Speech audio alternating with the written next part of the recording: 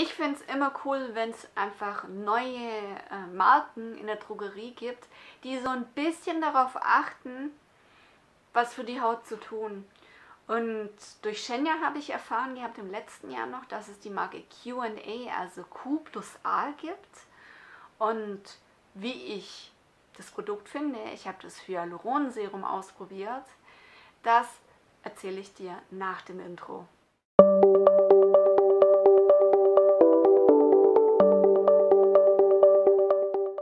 Hallo, ich bin Coco vom Kanal Die kleine Coco und ich stelle hier Kosmetik vor, ohne Plastik, ohne Tierversuche, vegane Kosmetik und nach Möglichkeiten sollten sie entweder ähm, mild beduftet sein oder gar nicht beduftet sein. Und wenn Marken komplett auf Duftstoffe verzichten, weil das hat in der, äh, in der Pflege, gerade in der Gesichtspflege, nichts zu suchen, weil Duftstoffe machen nichts auf deiner Haut dann wird es für mich halt einfach interessant. Da bin ich hergegangen und habe mir das Hyaluronsäureserum äh, mal besorgt und äh, habe mal so ein bisschen probiert. Und ich habe mich mit dem Serum, das ist Kartönchen dazu, habe mir echt viel Zeit gelassen. Ich bin ein bisschen enttäuscht, muss ich wirklich sagen. Jetzt kommen wir mal zu den positiven Dingen. Es ist ohne Duftstoffe. Das ist wirklich positiv. Es ist ein veganes Serum, es ist tierversuchsfrei und man bekommt es ganz, ganz leicht bei Rossmann. Preislich gesehen ist es auf jeden Fall günstiger wie No. Man zahlt für dieses Serum hier 7,99 Euro. Die Menge ist auch handelsüblich, also 30 Milliliter. Also solche Fläschchen sind meistens, wenn man Glück hat, noch ein bisschen größer. Ich habe jetzt ein 50 Milliliter Fläschchen von der Marke, die ich ausprobiere, aber in der Regel hat man immer so diese Standardgröße 30 Milliliter, was ja wirklich cool ist, du brauchst von den Sachen nicht mehr. Das ist ein sehr dünnes Serum. Ich bin eher jemand, ich mag die dicker, aber an der dickeren Variante ist ganz oft das Problem, da ist Kunststoff mit dran. Da wird ganz oft für die Textur wird da entweder ein Carbomer eingebaut oder es wird irgendwie ein anderer Kunststoff mit drin verarbeitet, dass die Textur schöner ist.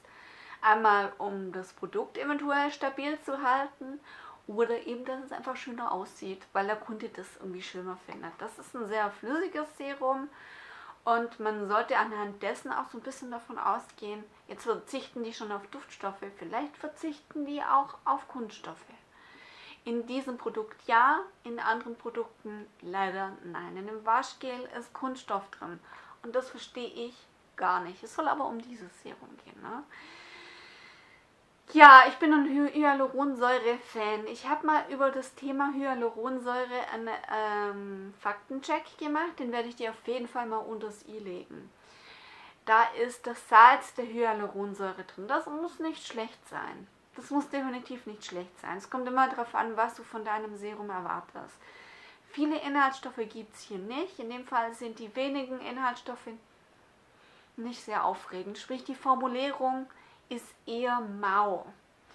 Was ich schade finde, denn man hat am Ende des Tages eben schon 7,99 Euro ausgegeben. Glycerin steht nicht ganz vorne, es steht nach dem Hyaluronsalz, was auch nicht unbedingt toll ist, denn Glycerin hat eine feuchtigkeitsfördernde ähm, Wirkung auf der Haut.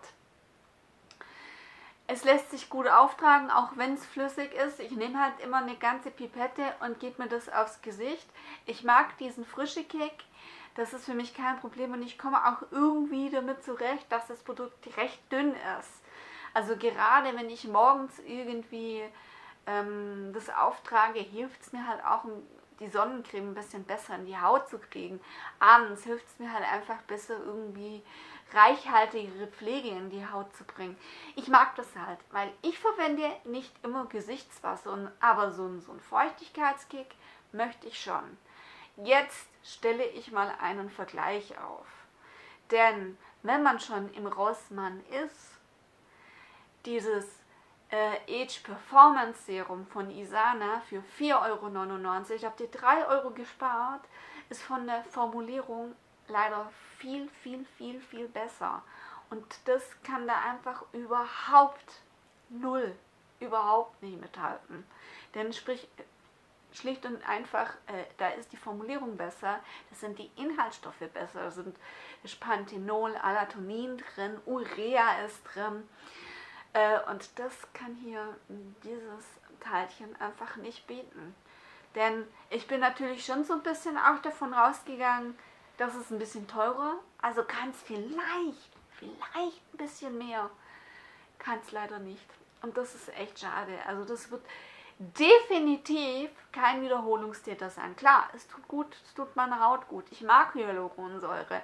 Und jemand, der eh eine ausgiebigere ähm, Routine hat, der sich unterschiedliche Dinge äh, aufs Gesicht gibt und vielleicht gerade die Stoffe Alatonin oder Panthenol, Urea, vielleicht in anderen äh, Produkten, was er sich so oder so aufs Gesicht packt, drin hat, dann dürfte das okay sein.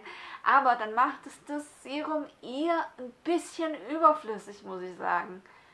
Denn wenn man es in anderen Produkten mit drin hat, hat, man's, hat man die Hyaluronsäure auch irgendwo in der Routine mit drin. Ne? Also als bei äh, Inhaltsstoff sozusagen. Ähm, macht es halt für mich wirklich echt uninteressant. Ich wollte der Marke mit dem Serum eine Chance geben. Ich habe mir das Gesichtswasser auch von der Marke geholt, weil da, darüber wird ja echt geschwärmt.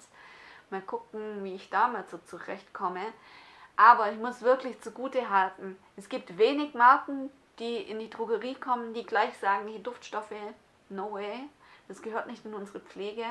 Und da muss man das Q plus E oder QA äh, einfach ähm, zugute halten. Man hat eine minimale Verpackung, die gleiche Verpackung kennt man ja schon von ähm, No. Und ähm, ich finde auch dieses Outfit richtig hübsch. Und auch hier nochmal, weil mir hier ja immer wieder neue Leute zugucken, den Hinweis, niemals Luft ins Produkt packen. Das heißt, Pipette raus, auf den, äh, auf den Kopf draufdrücken, äh, in die Flasche wieder rein und dann erst ähm, loslassen. Denn machst du es andersrum, pumpst du äh, Luft in das Produkt rein und das ist nicht ganz so gut. Ne? Also so machen und da hat man wesentlich länger vom Produkt.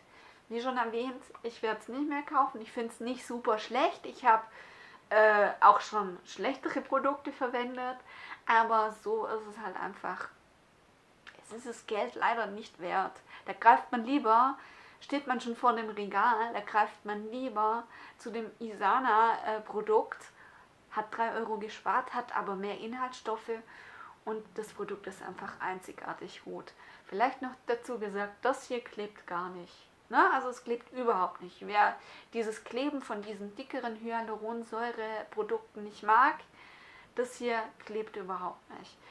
Falls du eine andere Meinung zum Produkt hast und sagst, das ist der heilige Kral, schreib das unten in die Kommentare. Also wenn deine Meinung von meiner abweicht, das ist immer wichtig, sich auszutauschen, ähm, denn jede Haut ist anders, jeder Typ ist anders, äh, jeder ja, ähm, findet was anderes gut und vielleicht funktioniert das ja für dich. Für mich hat es leider nicht funktioniert und 7,99 Euro sind mir für den Preis halt einfach schlicht und ergreifend zu teuer. Ich melde mich an der Stelle wieder ab, bedanke mich bei dir fürs Einschalten, gib mir gerne einen Daumen nach oben und hinterlasse einen Kommentar. Ich sage danke fürs Einschalten und bis zum nächsten Mal. Macht's gut. Tschüss.